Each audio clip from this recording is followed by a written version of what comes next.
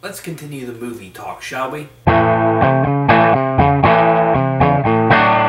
Hey everyone, today is Monday, April 14th, and uh, I wanted to talk, continue talking about movies, which we started last Friday. Uh, today, not necessarily about movies that stuck with you, but more about uh, the process of making movies, which is something that's quite fascinating to me, really. One thing I love learning about movies is just how movies can grow and evolve over time.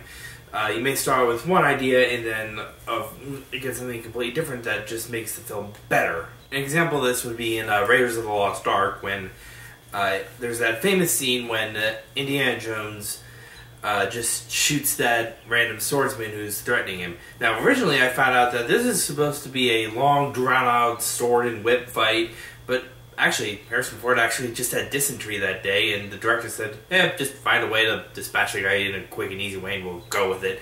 And Harrison Ford shot him, and there you go.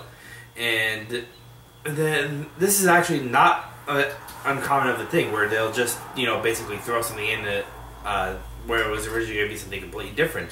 Uh, Back to the Future, the DeLorean time machine was originally going to be a fridge, and they changed it and made it into a DeLorean. I think that's just pretty cool. Even the process of of how they make scenes that weren't going to be in there can be pretty cool. I I once heard that the uh, some of the car chases in The Dark Knight were filmed without CGI, and the there was actually only a limited number of staircases in the Harry Potter movies, and they just basically photoshopped the rest in, and that that's pretty cool. And that you wouldn't think that they would do that, but uh, with the Dark Knight, especially with the CGI being so prevalent, you think that they would just CGI pretty much every single uh, car chase, but no, they didn't do that.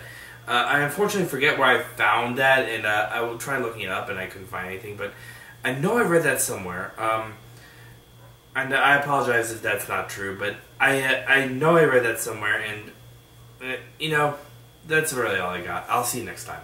Bye.